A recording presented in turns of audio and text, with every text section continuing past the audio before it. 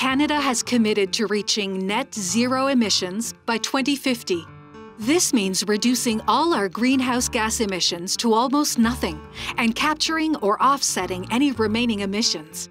For Canada, getting to net zero isn't just achievable, it's advantageous, as long as we play our strong hand wisely.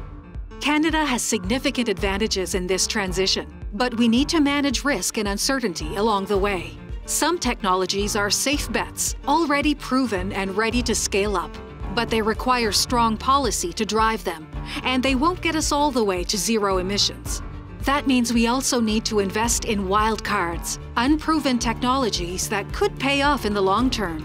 Canada has many potential ways to reach net zero in the next 30 years.